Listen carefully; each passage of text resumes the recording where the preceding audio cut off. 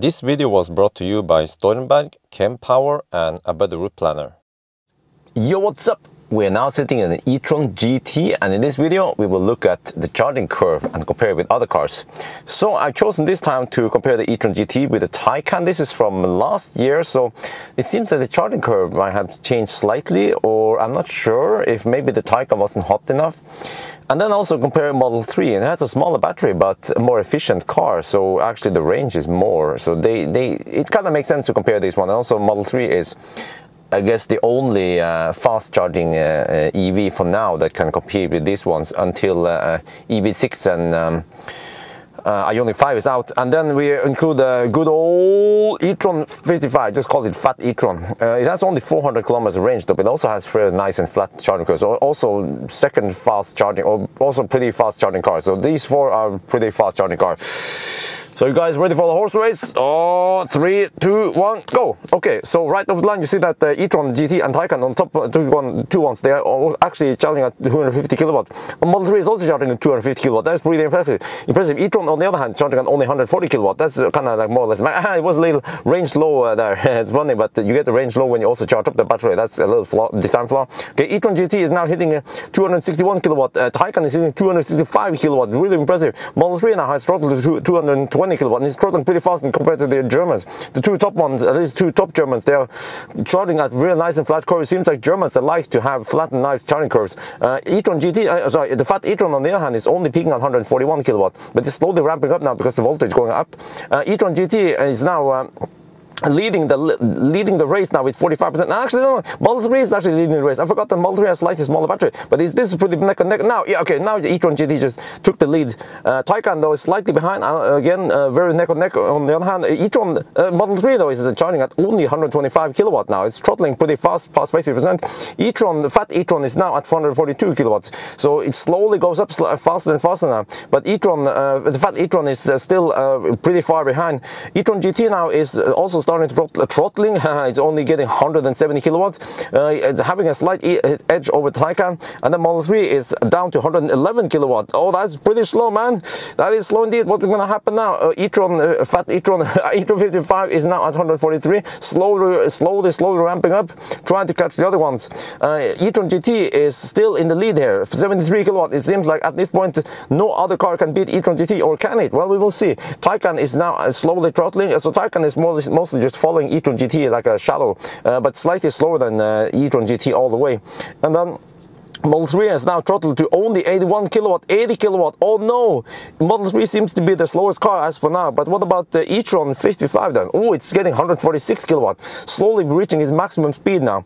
And uh, all right, now e-tron GT is starting to throttle even more, only 70 kilowatt. Taycan is at 81 kilowatt, pretty neck on neck there. Almost seems like Taycan is charging a little bit faster than e-tron GT. And the Model 3 is down to uh, 59, 60 kilowatt only. But the, remember that the battery is smaller and has a bigger, bigger the efficiency the e-tron 55 is now down to 137 but its charger is super flat now compared to the other ones because the other ones are now look, look how slow the other ones are charging now. Only 50 40 50 kilowatt and then e-tron 55 is at 135 kilowatt. E-tron 55 it might be coming for the win here but is it going to be enough? Because the other ones have a pretty big, big head start. E-tron GT is already at 86 percent uh, Taycan is also 86 percent but the Model 3 is coming back now because Model 3 charges fairly flat to compared to the other ones and remember it has a small smaller battery. So Model 3 is starting to catch up e-tron GT even. This is so even. I'm not sure what to say. That but e-tron GT seems to be leading a little bit. Wait, wait, wait, wait. e-tron 55 is coming in hot now. Coming in hot. Okay, e-tron GT only needs 1%. Taycan only needs 2%. Model 3 only needs 2%. Which car is going to win? E fat e-tron 1 90% and then e-tron GT again 90% and then which one's going to be a third uh, Model 3 or Taycan there Model 3 and then Taycan. This was so dead even that I could almost not talk fast enough, man. so, but you saw earlier that uh, uh, uh, the, actually the, the top ones, uh, e-tron GT and Taycan, they were really top notch uh, up to around 60-70% and when I did 1000 kilometer challenge I did charge 60-70% however according to my calculation Model 3 is actually faster than uh, Taycan and e-tron GT simply because the range is bigger. So when you look at the percentage you also have to look at the total range and also that's why uh, well, I included the fat e-tron, but I mean it's an SUV, so it's not fair to compare with sedans uh, and so on. But um, at least you know the e-tron charger e-tron.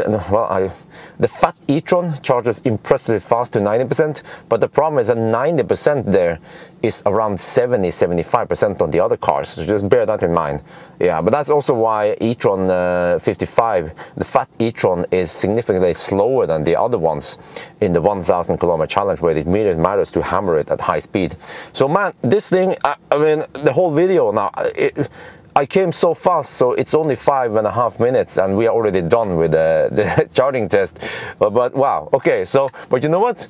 In the future, I think that this is going to be the norm, that uh, we will have cars charging to 90% uh, or at least 70. It seems like reaching around 70% uh, is pretty fast for all these cars and it will take only 15-20 minutes usually. Uh, actually, yeah, around 15-20 minutes to reach 70%. I also believe this will be the case for uh, Ioniq 5 and EV6.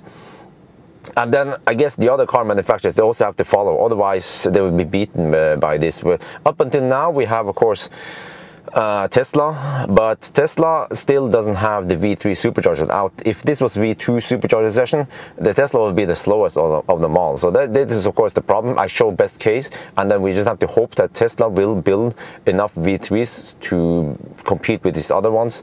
Uh, but and also the problem with e-tron and GT and Taycan is that they are somewhat pricey. And the fat e-tron though is very popular among Norwegians at least. But eventually, I think the, the um, yeah the fat e-tron will be. Uh, I don't know discontinued, but at least it would be actually uh, competed, out-competed by the e-tron uh, Q4 e-tron. Yes, so many e-trons here, man. Why did they call it e-tron, all of them? But okay, anyway, uh, I think that's going to be it for now. I hope you guys enjoyed this video. As always, thank you for watching and talk to you later.